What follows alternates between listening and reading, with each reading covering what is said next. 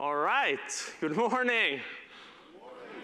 Thank you for taking your time this early morning joining us on a Windows 10 deployment session, deep dive expert level. It'll be a fun 75 minutes of just live demos combined with a few set of slides.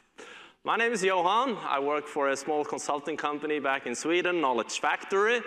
This is Mikael Nyström, works for another consulting company, actually a bitter competitor, Truesec, but of course, we happen to do a lot of these events together, so we, we stay friends. Almost friends. Yeah. uh, if you have any questions throughout the session, we are a bunch of people in here. So what we will do directly after the session, we will quickly, you know, rig our gear down, and we'll be outside, and we will have the Q&A there. So you can ask. We will be there as long as you have questions, put it that way. And please follow us on Twitter. Um, and not only follow us, check the people that we follow. Because we try to follow the Uber gurus in OSD, in Config Manager, in Windows 10 deployment, geeks like Mike over here, like Jason over there, and Niehaus, and all these guys that really knows a lot about deployment. So it allows you to very quickly, every single day, get a good grasp of what's going on in the MDT and the config manager space. But with that, we have a uh, word from our sponsor. All right, let's go.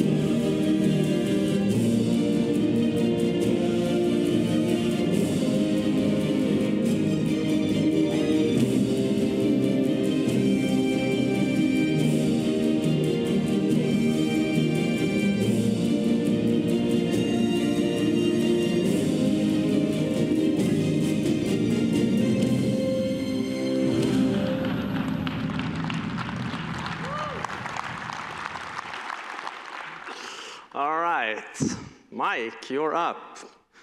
Am I? Yes, sir. Okay, so uh, even if we um, uh, are doing the new, brand new Windows 10 with all the new oh, features. Uh, sorry. one more thing. Everything that we do here on stage today is not supported until next week when Service Pack 2 is out. I just want to make that clear.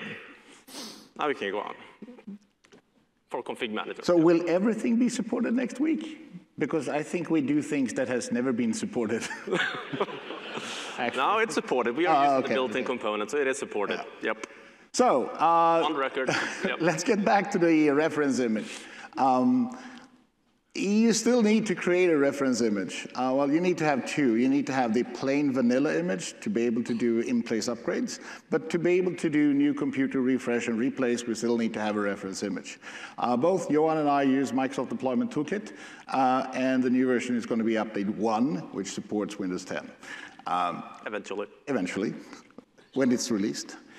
And it's the same story as always. You need to add your application, you need to add your patches, and you need to add a bunch of settings um, to make this a really great uh, reference image. So why don't we use Configuration Manager for that? Well, it lacks a couple of things that we need. Both Johan and I work as consultant. That means that we charge the customer for every hour that we work. And to make that time less so we can earn less. money? That didn't sound good. Um, we need to have something that is fast and that is reliable and is always works. Also, we work in different environments. Both Joe and I work with servers and clients and other things as well. And just using Configuration Manager to create a reference image doesn't work that well because it can only be used in Configuration Manager. So then I need to have another method for the VDI solution and another method for the for the VMware or Hyper-V environment or whatever it is. VMM, yeah. Yeah. Um, we also like the ability to test. So one thing that I do is that when I create my reference image task sequence, I would like to run it without patches really fast, and that's easy to turn off, and then I can just enable that. And it's, it's just easier to, to test and try, so it saves time.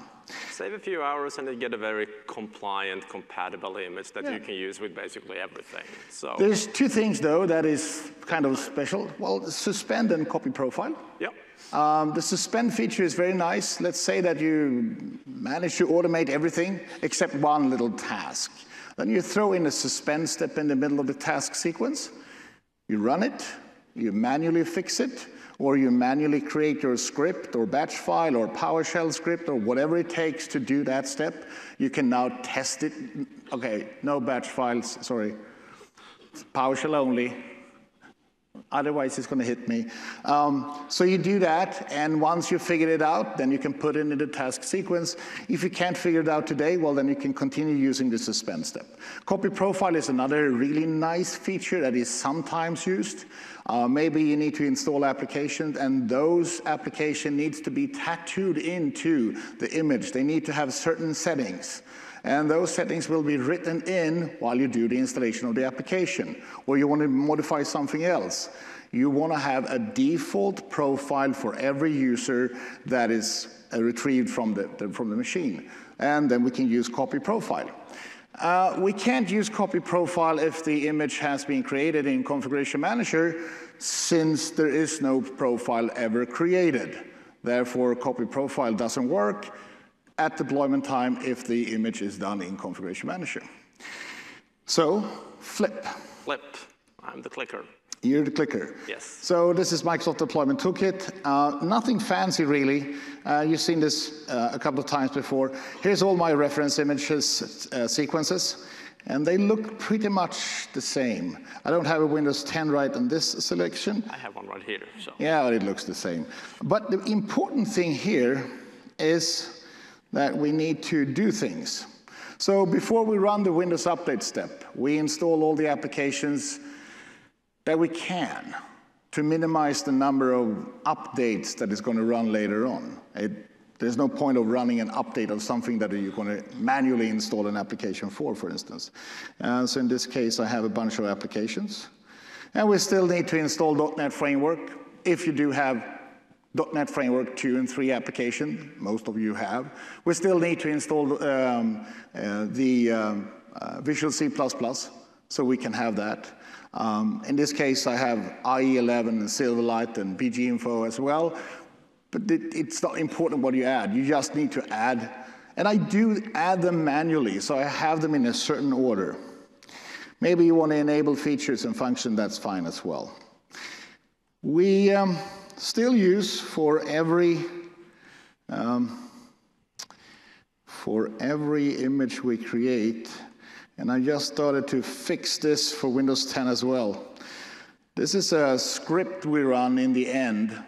The machine is now patched, it's fully functional, you install all the application, and the image becomes big. You really want to deploy that huge WIM file? Or could we just remove all the patches that has been overwritten in the system, the SxS folder? Yeah, by running the cleanup manager, command line wise, we can throw everything old out of the system to keep the WIM file smaller. And it's becoming really small, so we can shr- shrink it down to like maybe four or five gigs instead of 10 to 15 gigs in size, which could be the maximum size. We've seen some updates now in Windows 10 that hopefully will reduce the need for doing anything like this, but still for Windows 7 and Windows 8, it's something we do because we can reduce the image by a gig at least in size. And if you have a 5 gig image or a 4 gig image, it's actually quite a big difference when you distribute that to a large environment. Yeah. They change a little bit how they link updates and stuff, but uh, yeah. Hopefully that's going away in the future, but uh, currently we need to run it.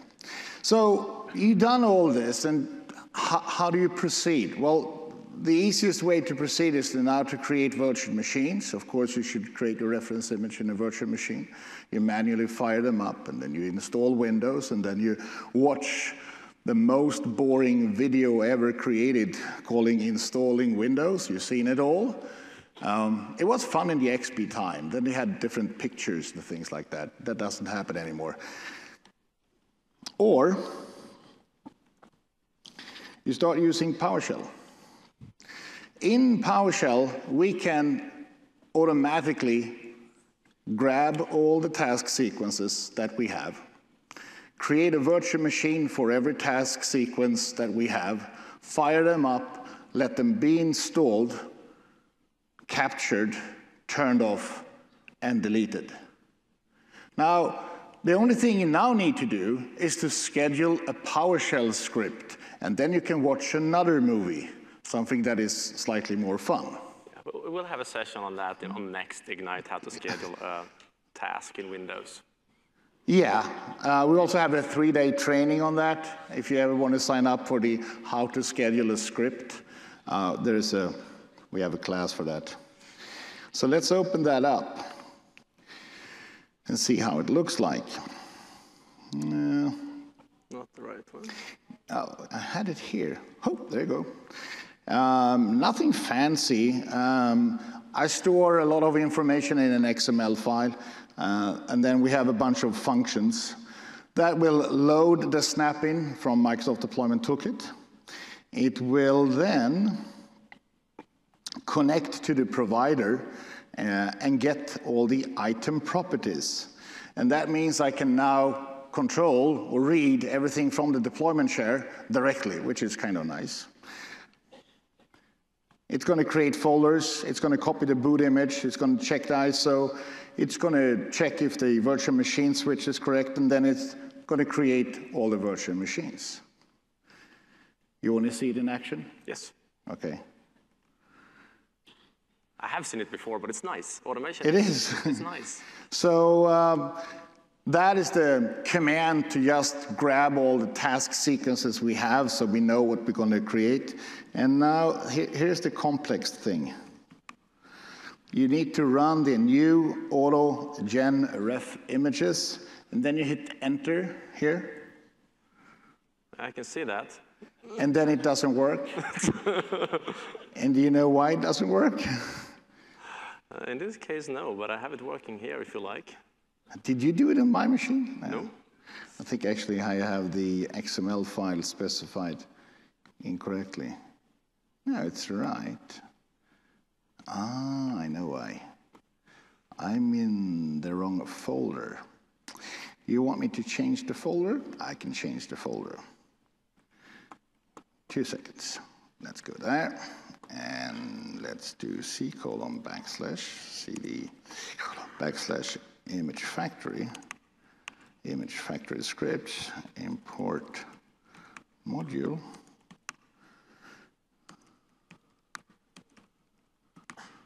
Like that. New, auto. That's better. Yeah, what can possibly go wrong in a live demo? Yeah, the problem when you have multiple folders with the same name and the same script in different locations, and they are slightly differently configured. So what's going to happen right now? It's very boring, but it's going to build all the virtual machines, fire them up, install them, sysprep, capture, turn them off, next one, next one, and next one, until all of them are done. That takes approximately 22 hours in our environment because we create reference images for virtual machine servers and clients and for basically any operating system since we have a service provider that requires that for us. Um, that's pretty much it. All right. Let's go back to the slides here. So that was the demo. Yes. And now it's about time to create sequences. Aha. In Config Manager, there are quite many things you need to do in to have a full supported Windows 10 sequence that work with all types of hardware and the applications that you have in your environment. So let's get to that. I'm not too, too big fan of a slide, really. All right. Number eight. So that, that was the backup plan. okay. Um, when creating reference images in, in Config Manager, you've probably seen that you start by right-clicking the sequence, you select one of the, uh, the, nodes here, and then you step through a uh, long, long wizard about 20 pages long. And when you've done that, you start to customize the sequence itself. And that's fun the first, you know, 10 sequences that you create, but after that you start thinking, isn't there a way to automate this a little bit more? And for example, you can see here that in my template list, I have a template I'm pretty sure you don't have in your list. Even though we have the same type of setup, config manager 2012 R2 and MDT integrated. So why is that that I have one and you don't? Because I created another template. So where are they stored? How do I create one? Well, it's really difficult. You need to find the folder. No, it's not difficult. You need to find the folder where MDT stores its folders or its templates. And uh, can you think of any folder that could make sense uh, to store config manager templates in? There are no. two options here, actually. it's not templates. It's the actual SCCM folder. That's why I have my templates. So if I want to copy and change these, I can simply do that.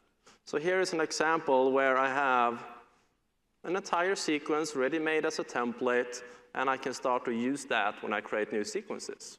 So once I have done one that I'm happy with, I can export it, I can add it as a template, and then all the new sequences I create from this one will now be based out of that template. Another thing you can do, of course, is um, use PowerShell to do the same thing. So in Config Manager, there is a um, built-in provider now in PowerShell that allow you to create um, sequences directly out of the, uh, out of the box.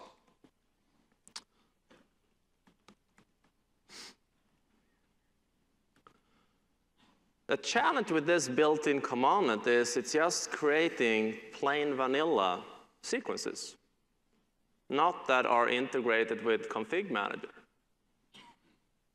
And I want them to be integrated with, sorry, not integrated with MDT, I would, and I want them to be integrated with MDT for config manager. So how do I do that? Well, turns out there is another script.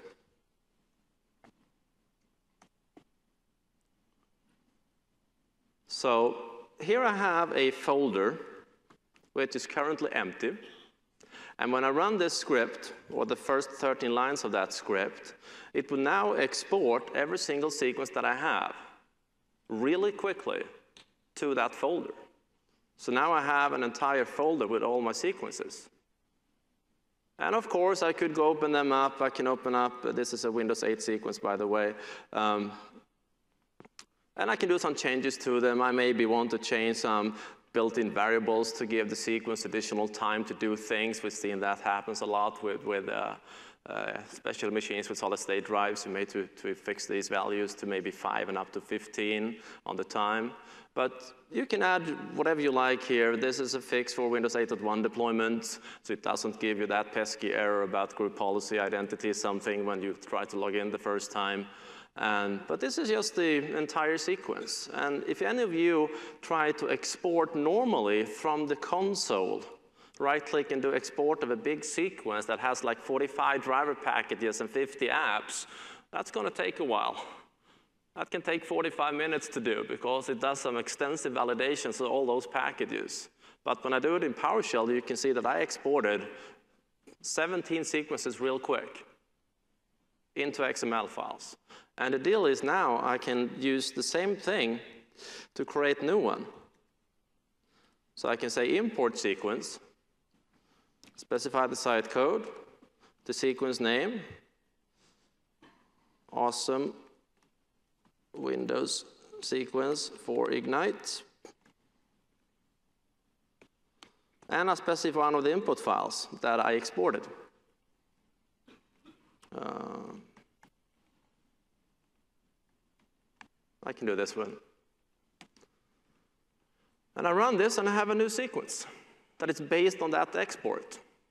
So now if I go back and refresh the node here, it should go from 17 sequences until 18 sequences. And one should be awesome Windows sequence for Ignite. And if I edit that sequence, you will see this is a completely integrated um, sequence with all the various big bangs and whistles that, that the MDT adds to it. And this is quite powerful. Think of it. If you work around with sequences and someone in your team or yourself do something bad with that sequence, how do you restore one? How do you grab a copy of it? Well, you have to restore the site server to get back a single sequence. Or you take into habit of exporting them. There are also event handlers in Config Manager that you can call. There is a German fellow, his name is uh, Maik Koster, uh, used to be an MVP for a long time, but not anymore. But he has written an event handler for Config Manager that will look at events when you edit a sequence. And every time you edit a sequence, an event is triggered, and he calls a script that will back up the sequences and give them a version number. So every time you do a change to a sequence, in the back end, background, there will be a backup, like I showed you through that PowerShell script. And I just saw you, I saw me demonstrate how easy it is to actually restore one if you did something bad. And then you can basically just open them up side by side. This is the restored one. This is maybe a new one that you're playing around with. And you can start to compare them, and you can start just copy and paste information in between if you like. So it's quite a powerful way to deal with um, settings and exporting sequences. Then we also have some other things you probably want to configure in the sequence, and that is support for BitLocker. And the deal with BitLocker is, as you probably know, it's been around for quite a long time now. There are actions in Config Manager by default that, that will happily enable BitLocker. However, it assumes a few things. It assumes that the machine is actually ready for BitLocker. And the deal is if you buy machines from, say, HP, Dell, Lenovo, wherever you buy machines from, and you don't tell them how you want them configured to you, they will typically ship the machines to you with no password in BIOS, and TPM will not be enabled in BIOS. That's the typical default configuration. So now you need to go and enable that. And well, that's the time when you try to locate the uh, hired, the most suitable technician for the job. Give him or her a pair of nice runner shoes and have the staff running around in the buildings pressing F2 or F10 or whatever it is uh, to enable that configuration. Or you add that to the sequence. So in this sample, I've added a script that was written by Tim Mintner back in the days, still available on the Deployment Guys blog, that simply checks the status of the TPM chip. Is the machine ready or not? If it's not, I will call this script, so I have a condition on this one, that actually will call the different vendor tools. So if it's an HP, it will call the BIOS config utility. If it's a Lenovo, it will call their WMI script. If it's a Dell, it will call the CCTK tools. But it's just a script that detects the hardware and calls the right utility, and then run that utility. Then reboot the machine. Most hardware, a reboot is enough. Some rare models have to be turned off once, and then you can't really do this. But hopefully you don't have those rare models, but then you have to have two sequences, basically one that does the config and one that actually deploys. And then I will check the status again, and now finally, if the machine is ready to go, then I will call in and do enable a BitLocker. Something to watch out for is that the sequence itself is suppressing policies all the time. So there is no group policies being applied at this point in the sequence, meaning if you want to do adjustments for BitLocker, For example, a lot of people are relaxing the TPM validation profile because the default one is quite, um, well, extensive. Annoying, Annoying yeah. oh, you put in a CD in your uh, bay. Oh, please put in the recovery key. Or you have a USB stick, please put in your recovery key. But you have to do that through a script that will put these values into the registry until the machine is rebooted and you do get the normal policies. But this is how you deal with uh, typically deal with, with BitLocker. Uh, you can also do this earlier in the process to uh, use the new provisioning features, which are nice, but all in all, you often have a better success rate and testing rate if you do this in the running OS. The downside, it takes time to encrypt. It can take hours. If you do it early on in the pre-provisioning block of the sequence, it doesn't add any time to it. If you want to see some excellent guides on doing that, there is a uh, MVP, uh, Niall Brady, uh, Windows Noob site, you've probably seen it around. He has published some excellent guides on how to work with BitLocker and pre-provisioning to be able to start encryption really early. So a deployment only takes 30 minutes and then the machine is completely uh, decrypted. All right, back to slides.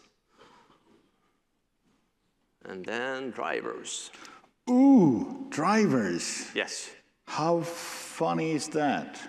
Um, yes, drivers. Uh, we need to have them, um, and we all like them, and they don't cause any issues because they always work. or that's the understatement of the year. Um, we need to find drivers, and I know Johan, I've been talking about this before, but it's very important. And still, when I go to customer sites, they are using the wrong locations. Drivers, if you have a Dell machine, that's going to be your cab files. You search for Dell, cab, and FTP, and then you're going to find a community site that is run by Dell, and they have the cab files. You download them.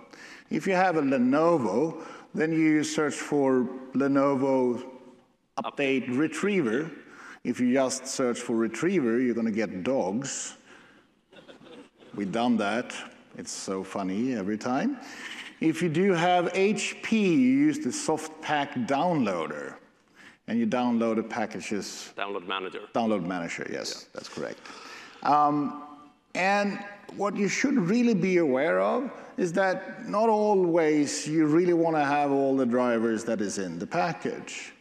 We have numerous customers that have issues because they actually use all the drivers, which is strange. Most common issue is this. The machine is working perfectly fine. However, you can't turn on BitLocker because there's no TPM chip, which is very strange because you know there's a TPM chip inside. If you take the pure media, the ISO image, you install it from that, there is a TPM chip. But if you add all the drivers from the cab file, there is no TPM chip anymore. Isn't that very strange? After a while, you realize that if you install this vendor's security toolkit package, then suddenly the TPM chip pops up again. They have a shim driver that kills the TPM chip driver and enables it back again when you use their application. So that means, of course, now we need to have that application.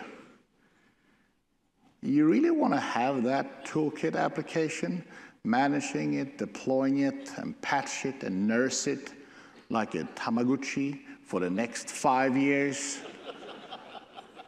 I don't think so.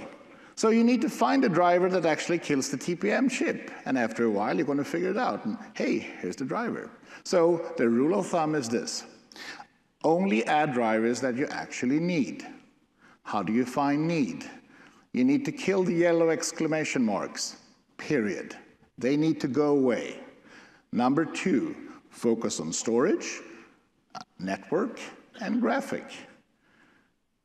And the rest of it, if you don't use it, it doesn't matter anymore.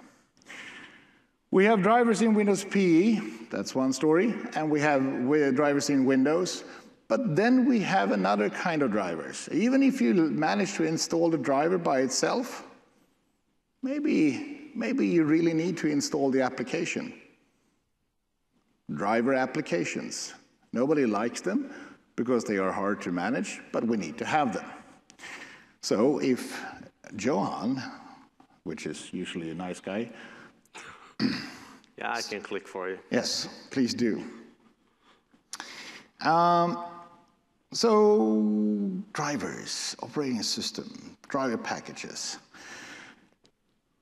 Import them into Configuration Manager, create driver packages, and in this case, if I open my Windows PE uh, x64 package, you can see that I have this massive amount of drivers, exactly the ones I really need.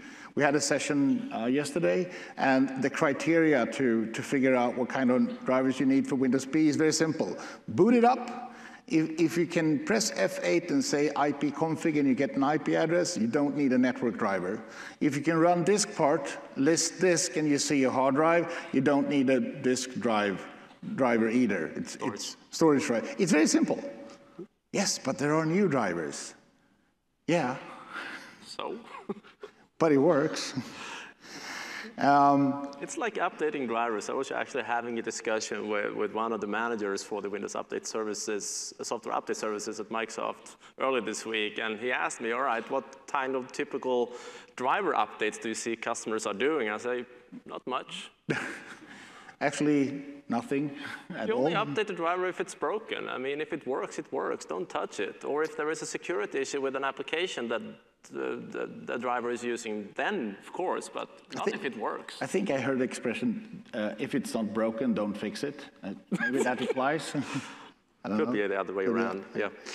Uh, okay, so um, this is pretty standard, and most of you have seen this before. Uh, if you open a task sequence, then we use the, uh, the method um, that is called total control, which means that we create one driver package for each and every machine. We turn off the auto-apply drivers, uh, and then we create uh, one driver package for each model, and then we specify that, hey, if this is the model, uh, and you can either do a WMI query or you do a model, it doesn't really matter. Um, then you should have this driver package and nothing else. But how do you deal with the applications? What, what we see is that people tend to say, oh, that's easy. I know how to fix that. Okay. So we can see this. And I hate this. I really don't like it. But we see this. So they go here and they create a new group called hardware stuff. Okay, and under hardware stuff, they then create one folder for every model. And then they add all the applications for each and every model. And if you didn't have a huge task sequence, you will have, well, it's not going to be there, it's going to be later on, it's going to be after the state restore. I was just about to say you probably won't have it in that location. Yeah, I'm going to move it down. It's going to be around here somewhere. Uh, it's just that that means that every time you have a new driver package, you need to modify this and you need to modify the task sequence and again and again and again. And the sequence will be very huge. I don't do that. I do it this way. Number one, I need to find the application. And I'm going to open my folder, and in downloads, I downloaded the um, HP 3D driver guard thing. Maybe we need to install that correctly, otherwise it doesn't work. Okay, fine. Uh, how, how do you figure out the silent command for this? You, you, Google for it? Or Bing? Or Bing? Let's Bing. Go Bing? go, go, Bing? Uh, soft pack download manager. Which every time you build it will install a new version normally, so. Yeah, it's like Adobe. There's a new version coming. Um, when you download it using this tool, it's, it's actually have the ability to tell you the silent command line switch for every application. We just need to start it first. Yeah. But I can uh, start it over here and you can continue with Yeah, whatever you were doing. it's coming. So what I do is that I, well, here it comes. Yep. It's not the ah. best written app in the world, but told you, it's a new update. Now you can't cancel it. No, no. New update every single time.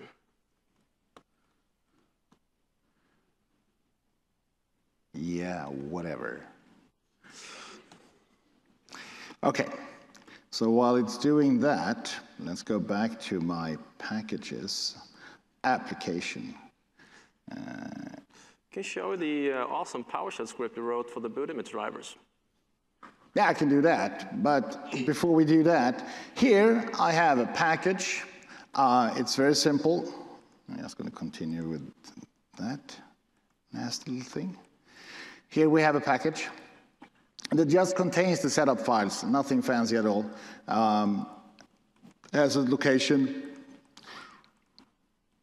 but it also have a program. And if I go to the program here and move that away, you're going to see that the command line is setup.exe slash q reboot really su- suppress. And that's the command line we need to have. We need to modify this. We need to make sure that you allow to install this program as a part of a task sequence, because that's what we're going to do.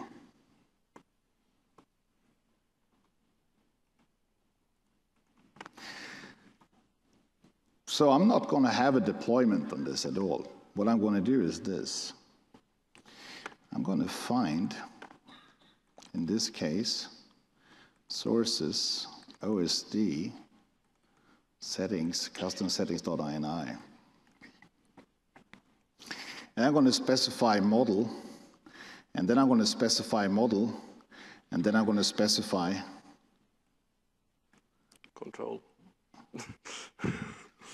package 001 equals site code, package number, and the installer. And that means that if I have one of these models, this application will be automatically installed. So now I don't need to modify my task sequence, I don't need to change it. Instead, I've changed this text document, which is going to be faster and more easy. I could also use the database to store this information is. But usually we, we just add it in the custom settings.ini file because it's going to be easier. Um, but there are customers that says, no, we want to use the database, and that's fine too. This is the, uh, one of the idea behind dynamic deployment, and this is really easy to test. The only way to test it when you have it in a task sequence is to run the entire task sequence. When I have it in custom settings.ini, I can just run the ZTIGather against that text file to verify that, hey, it's detecting that I am an HP EliteBook 8560W, and therefore I should have this package. So as long as the package works, I know that's going to be deployed. I will That demonstrate means- that in the next demo Yeah, as well. So that means we're going to sh shorten down all the testing.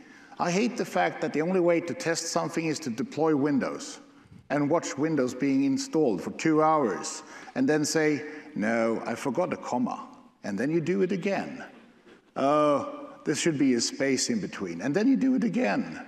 And at 3 p.m. in the afternoon, you realize you have done nothing for the entire day. And then you go home and cry. I have the 3D DriveGuard open here. Yes. So what Mikael was about to show before was that once you download these drivers from the download manager and you view the CVA file, if you drill down um, in that file, you will see the command line switches for the various uh, applications that is required or to run them silently. So And it's kind of funny because at, at every time we are at the customer and we show this, usually nobody's seen it before. So they ask, is this a new feature? And I, I do pay attention to the, to the line down here as well. Uh, this can also be interesting sometimes, the return codes, because in Config Manager, you can configure, you know, success codes when you run things. So you may want to adjust them as well to match the application. For example, the HP sum that is used for servers and some clients as well have interesting. odd, interesting return codes Yeah. for, for some of its successful deployments. Yeah. And you want them to be successful when they are. I know that zero is successful One is successful, and one is two. three and five. And, Yeah. yeah. Anyway, don't- we don't really know why, but that's the way it works. So this is the way we deal with applications. Do I really need to install these applications? No, but in some cases we do. And if that's the case, this is the way we install drivers as applications. so speaking of, of apps then, well, that was the demo. Um, how do we sign applications in our sequences? Well, we have a few different options. We can either hard code them into each and every sequence that we have, and that typically ends up in you guys having 10, 15, 20 different sequences just because you want to have different lists of apps in those sequences. Even if you can do conditions, I typically see a lot of customers having a bunch of sequences when they assign them statically. Another way to doing this is to create lists dynamic lists of applications that you simply feed into the sequence. And Mikael showed you an example on doing that dynamically on a per model basis. So what we do to, uh, used to do uh, this with is, of course, the, um, that ini file that Mikael uh, talked about before. So let me go back to my demo environment and close this one for now. Here I have an example um, where I have a dynamic deployment. I have a single sequence. Could be Windows 7, could be Windows 8, could be Windows 10. But it will behave differently where the system detects I'm deploying to a laptop or a desktop or a server. Because when you start a deployment, the sequence learns about all these functions. Hundreds of ready-made functions are, are being read in and used, and uh, three of them is the detection of laptop, desktop, or server. And then I can do different actions depending on what the result is. So if it is a laptop, it's going to deploy the following three apps. So the VPN client, Office, and Adobe Reader, and it's going to put the machine also into the laptop's OU. But if it detects it's a desktop machine instead, it will rather just install two apps, not the VPN client, and put them into a desktop OU. And if it's a server, it will do nothing of that, but just put the server into the server OU. So, What we could do is add, I mean, you have by laptop type, desktop type, server type. I mean, we could add by VM type and you mean- you mean specify. this one? Yeah, we Yeah, can do yeah that too. you can do that too. Yeah. So in this example, it detects if the machine I'm deploying is a virtual machine, and if it is, it will install a package that, in this case, upgrades the, or installs the updated version of the Hyper-V uh, integrated components. And we could actually detect that, hey, it's running on Hyper-V, therefore you should install the integration components. Hey, it's running on VMware, therefore you should install the VMware tools instead. So typically in a sequence, what we have here in the default sequence is the install software updates action uh, that will install by default a list of packages that are beginning with the packages prefix. Same goes for applications. It's looking for a different prefix, but it's actually not that prefix. This prefix is application because there is another script that converts this into a different type of list. But the question is, should you use packages or should you be using applications in the sequence before CU4? Packages. Should you be using applications or packages with CU4? Depends. It turns out that Microsoft actually fixed a majority of the issues that were with applications in sequences in CU4. It turned out not all of them, but for most of you, it will be all right. I mean, it's not that difficult to test. Add them in, if it works, it works. But they nailed down a lot of bugs that, bugs that has been reported by customers around the globe, and they, they nailed down a lot of these uh, issues. But if you still have issues, simply go back to use packages and that will work. The difference is that when you deploy an app through a sequence, the sequence behave differently. Because what the sequence will do, it will, when you deploy a package, the sequence goes directly and say, hey, give me that package now, and installs it. When you deploy an application, the sequence gets the information about the app and then hand over to the client to say, hey, client, can you please go ahead and install this app, and when you're done, report back to me, and I'll continue to do what I'm supposed to do in the list. So it's a whole different ball game of what the sequence do, and that's, I guess, also why a lot of the, the bugs has been, to, to get that timing right between the handover to the client and the report back. But it also assumes that the client is up to the right version at that point in time. So you want to make sure that you have the latest update of the client installed when you deploy your sequence. And just because you install CU4 on the server, you don't get the updates into the sequence. When you deploy, it will still be the RTM version, not the updated version. So how do you fix that? Well, in the past, what I see a lot of people were doing, they were doing something like this. And I've been doing this for years, being very successful with it. But then, a while back, I started running into a few issues that was just because of this. So how come this works? I mean, I, am how many of you in this room have done this? A good few of you. So how come it works for most of you, but some of you it fails? It turns out, and I found out this the hard way, this will install the client just fine. It works. But what if that six months from now, the client, for some reason, need to do a full repair and start to look for the files in that folder, which at that point is no longer present at the system. Then that repair will break. So what I recommend to do is simply skip this and to steal, borrow, uh, a script from the deployment guys. It's available for download. This one. You add that to your sequence, and this script automatically finds all the updates in your client package, copies them locally to a specific folder on the drive, not the SMS sequence variable, but another folder, and then installs those updates.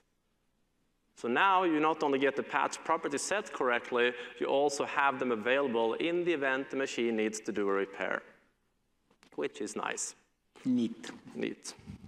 But other than that, we talked about the simulation. If I want to test the simulation, I can simply open up a PowerShell prompt, go to that folder, and I can say, all right, what if I would deploy this machine? What applications, or in this case, packages, uh, would be installed?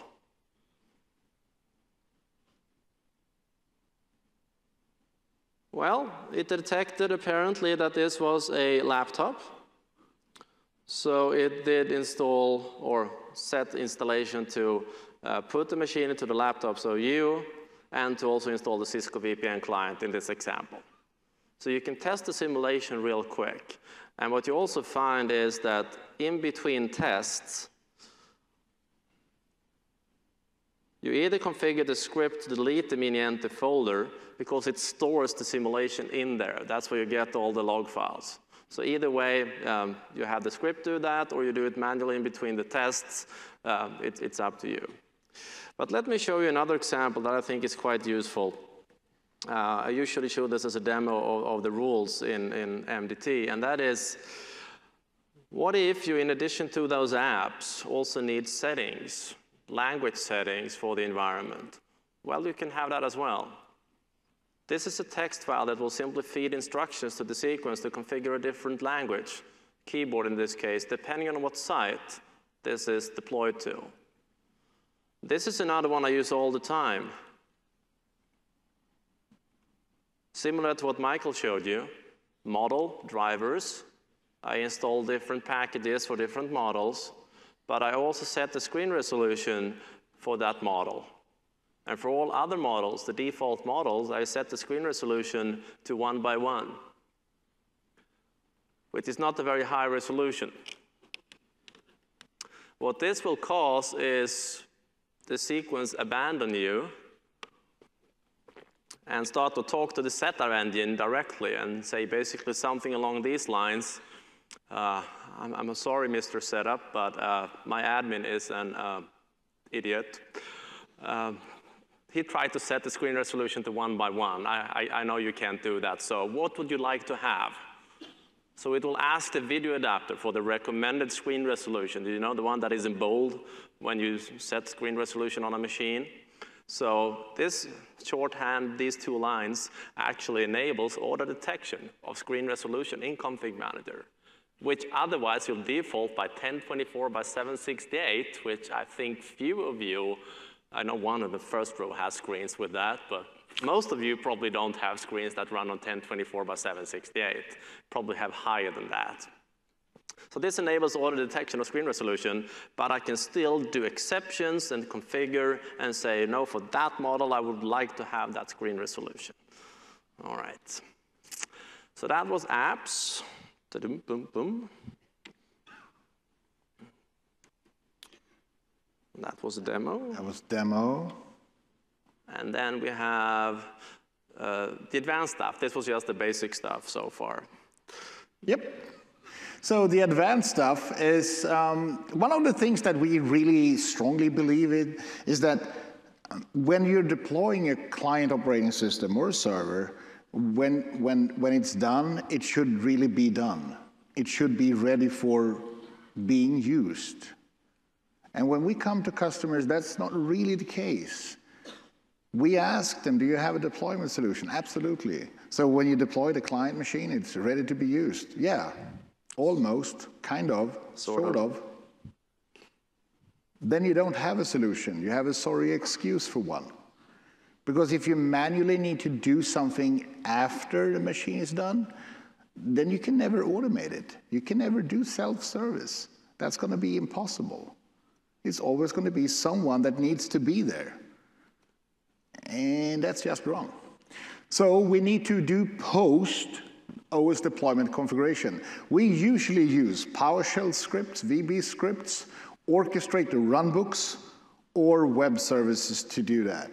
When we need to fiddle around in other systems, we always use either runbooks or we use web services. That's to hand off uh, security and don't have an issue. Um, adding a, a PowerShell script into the Windows PE image that moves the computer from one OU to another. It's more or less like making Windows PE a domain admin, and that's kind of bad.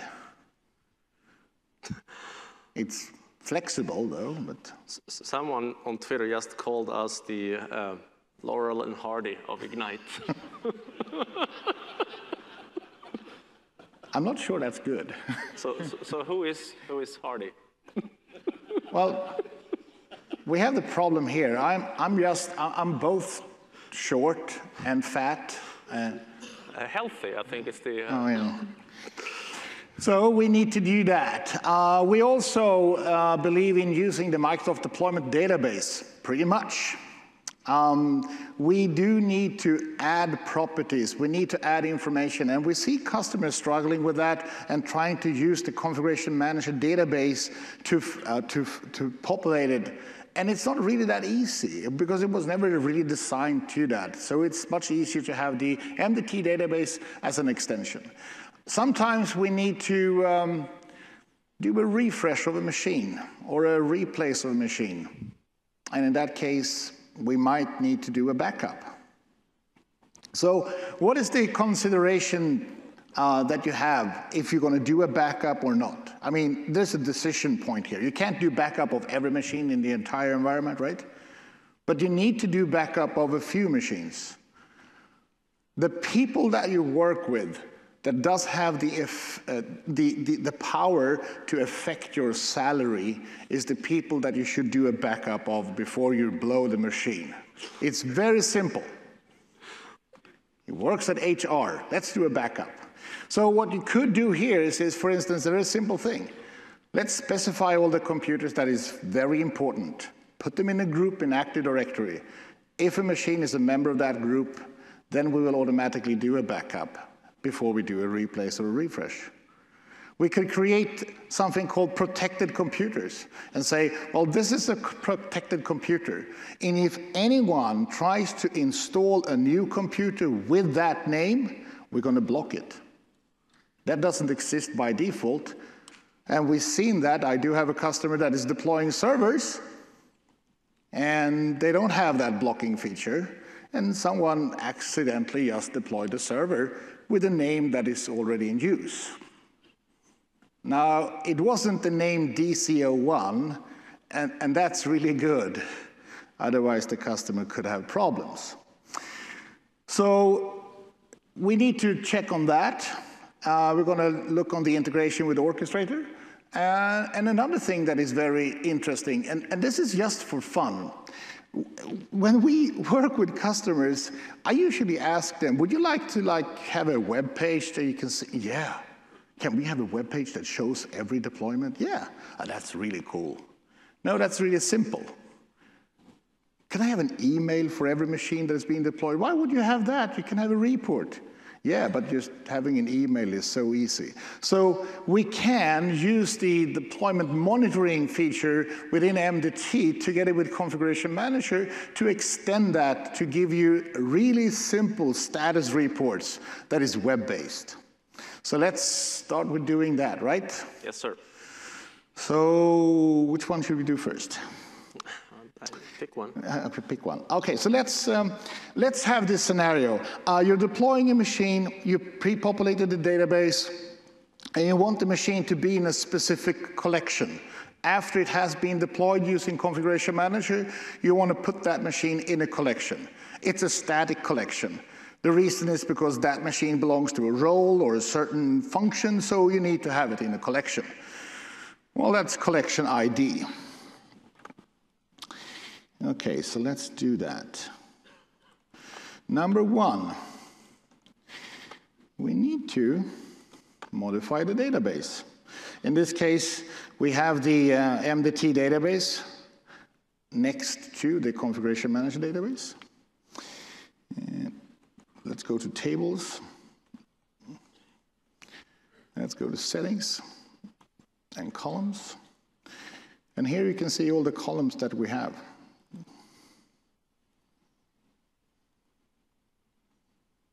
And what is actually really supported is to create new ones.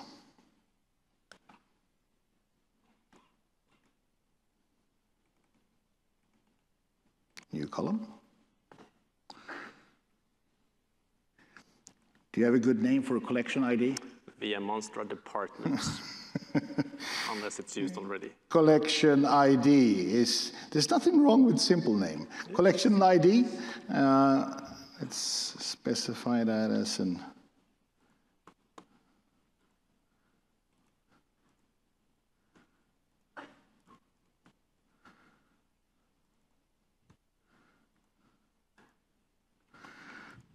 Okay, so we save that. I've saved it. That's good. Then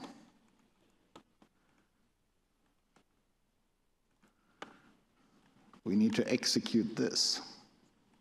To refresh the view, holding yes. those. So let's create a new query and paste that in and let's run it. Yes. And that means if you go now here to the database and if we create just one entry, that's going to be fine. And we go to details we should have collection ID. So now I have the ability to specify collection ID for that computer, for that role, for that model, for whatever you want to specify. So now I have a collection ID. Well, nothing is going to happen with collection ID because we don't really do anything with it currently, but we do have the ability. So if we uh, then uh, specify this in our custom settings.ini file, uh, Uh, so let's go to sources, OSD, settings. So if I add the properties collection ID, now it has the ability to read collection ID. It can understand the property of collection ID.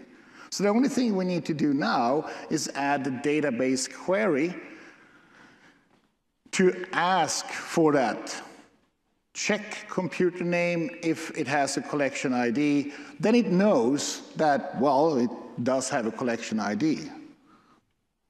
But we need to move it.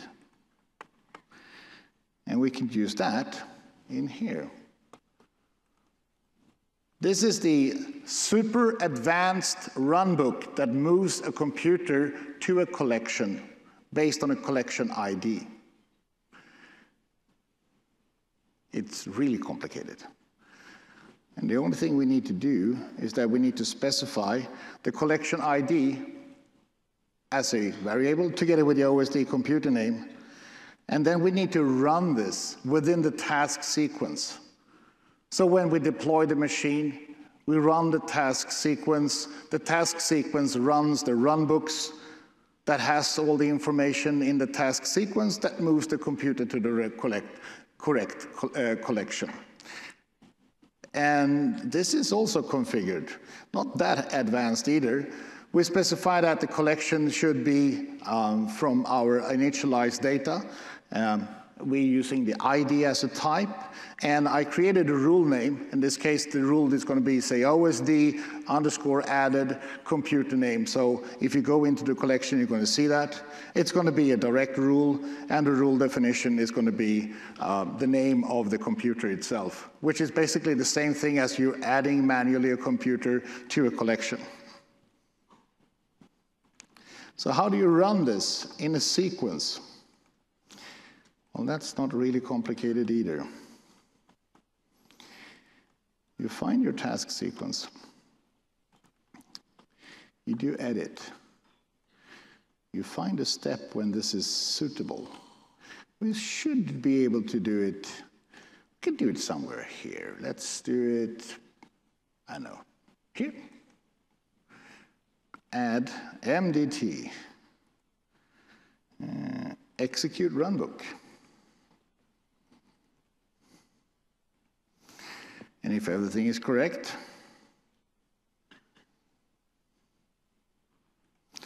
I can use the move computer to collection. we do have customers that are using this, but you can extend this even more, of course, to do other things as well. So if you start thinking, and I know I have uh, people in the audience that I know that find, uh, have found out that, hey, doing runbooks makes lives easier. So they keep on adding runbooks to automate things. So let's assume that you're going to do like a, a replace. What do you want to do with the old computer? Disable the Active Directory account, remove it from the uh, VPN device, remove it from different locations. Maybe you want to update your asset management system, remove it from your collections, clean out the machine. This is the old machine, it's dead. It's not supposed to hang around in the system. So you can actually do a life cycle uh, by just adding runbooks that fits the needs. Does it make sense? Yeah. Okay, so that was the database, and just happens to be a runbook as well. Um, another thing that I, not long, not long ago, uh, we did have a customer that says we need to we need to document the system, and I said that's easy, we can do that. Config manager, inventory. Yeah. Good. Yeah, but the answer was no. Our asset management system is a really old guy, and he, he needs a piece of paper. And I was like, are you kidding me? No, we need a paper. So for every machine you deploy, you need to hand him a paper. Uh-huh. You need to upgrade that system. Yeah, we're waiting for him to die. he still lives, so I said, well, I can help you. It is actually possible to do. And this is what we did. So we created uh, something called Dump to Stone Age Asset Management. It's a runbook. And what it does is that it, it runs a PowerShell script, actually, that creates an, an RTF file. And an RTF file I can open in Word and I can print it. It's not really that complicated, but let's, let's just see how it looks.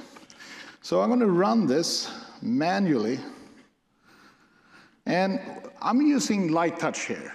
And the reason I'm using lite touch is because it's the fastest way to test develop and verify that these custom task sequence works. When they do work, I move them into Configuration Manager for production. That, that saves me days, or at least hours. Let's run it.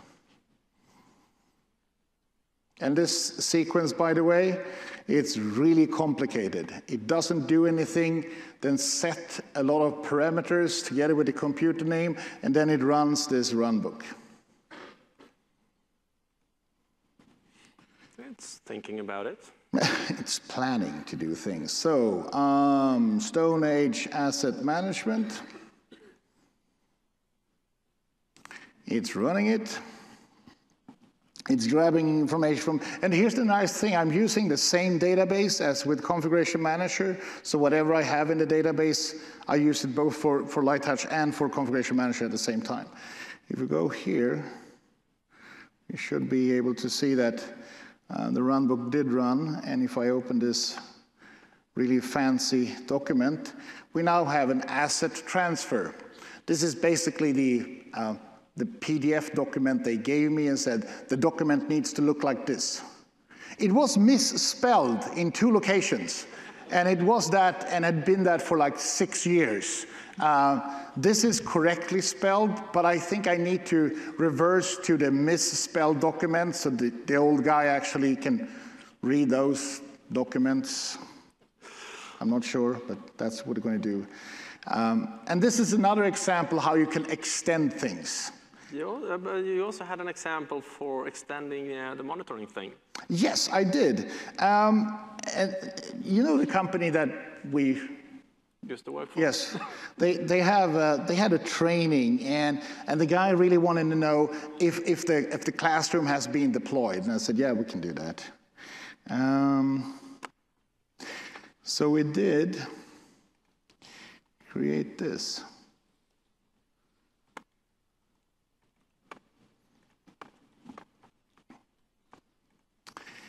Do, do, do, yep, here it is. So the only thing we did is that we enabled the MDT integration, that's it. Uh, we enable MDT monitoring, that's it as well. And then we have this really funky script that connects there. And when it has done that, it's going to run a function that extracts the data and creates a web page.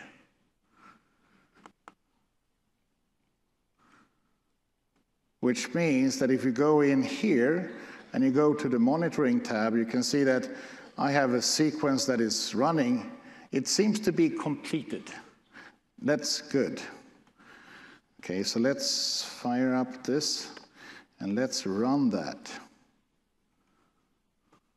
And that means if I start my web page here, like that one, and we go to http colon localhost. We now have a very simple web page that I can use on my cell phone or whatever. It's just easy access. Is the machine deployed? Yes or no? Um, the green thing comes from the fact that it says successfully. If it says failed, the text turns into red. The other color that most people is annoyed by, it's, it's peach puff.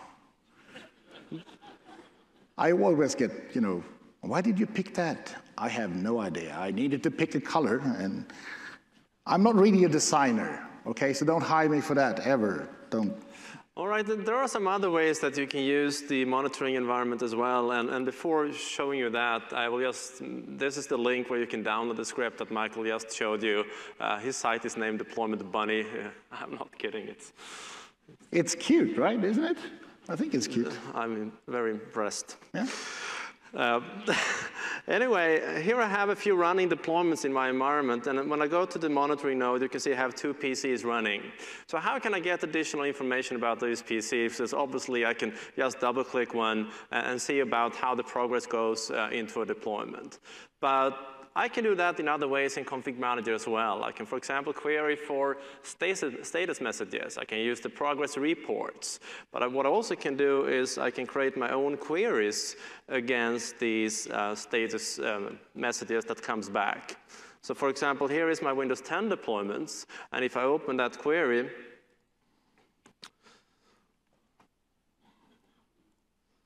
This is just uh, basically a syntax to list all deployment or all messages that comes from this specific deployment ID. And when you look at your various deployments that you have in the console, uh, when you add the column here, uh, deployment ID, this is where you can see them. So here we can see that uh, my Windows 10 sequence is actually having a deployment ID of just that ID. So now if I go back and run that query and set the filter for the last hour, I just started it, so that should be okay. I will now have status messages being reported back directly from that deployment that I can review here and, and check on things. But what I also can do, if I go back to the monitoring node, I can double click it again. I can actually now remote into that machine. And this is because of the DaRT integration. So those of you in the audience that have the MDOP license, you also have access to this. And when you have the MDT integration in Config Manager, you can add the DaRT components. It's done through the installation wizard or the configuration wizard. And then it's just very easy to remote into a machine and, and do some things. And of course, you have full interaction with it. And while you are doing this, the keyboard is going to be locked on the real machine. So while you are doing stuff, somebody else can't break what you're doing. So this is quite a nice way to find information about um, ongoing deployments. So a few uh, final tips that hopefully can help you um, debug some of this. I was in a session yesterday um, that Aaron gave. I recommend highly to um, view that uh, online if you didn't see it. It was about the upcoming features in Config Manager SP2 again being released next week, and also the Config Manager vNext that is going to be released later this year. But that was a good summary of sessions, and he also introduced some changes that comes with the service pack, especially around logging, where we now have easier ways to increase the log file size. Currently in 2012, uh, you have to put an SMS file into the boot image to do that, or use the, the uh, little hack that the one that guys, uh, guys at 1E put together to do it in a refresh. Uh, but, but now they're adding it in, in, in SP2 as well. As you probably know, um, trace is included always in the boot image, but what I do recommend to, um, to do as well is to make sure it's always in the path. So put it in the folder so you can always access it, which is a nice, nice thing there. But I wanted to show you uh, one final configuration that is really um, a small thing really, but that can help you uh, a lot of things in, in terms of debugging. And I will close this one down. It's a text file again. It's our ini files. Let me go to the right machine, that will help. Because all logging by default is client side in Config Manager, in addition to the status messages. And um, by adding a single line to the text file, this one here, it will configure it to, in addition to the log files, it will do server-side logging. If something goes wrong, it will copy the log files to the server. If it's successful, it will copy the log files to the server. So you can use this uh, to make sure you always have those log files available for troubleshooting.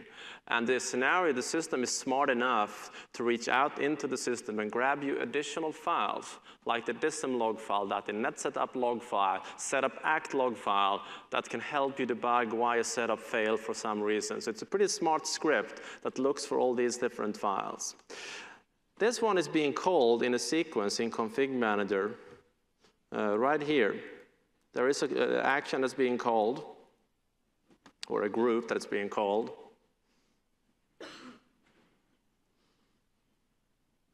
Here, you can add your additional troubleshooting things here as well. You could, for instance, add a runbook that runs the runbook and sends an email and gather the logs files and, I don't know, yeah. Call someone, order a pizza yeah. if you want to do that. Another thing I see a lot of companies are using are status filter rules in Config Manager. You can create a, a filter that, that, for example, uh, look for these events, which is a successful deployment, the task sequence manager is the component, um, and then you can have that filter trigger something uh, demo um, to run a script that does something. So all in all, there are many, many options in Config Manager with the integration of MDT to do some uh, really advanced deployments. And that means that we have uh, a massive amount of 14, 13 seconds left of this session. I would like you to thank you your time coming here this morning. Please remember this and have a great rest of the conference. Thank you, guys. Thank you.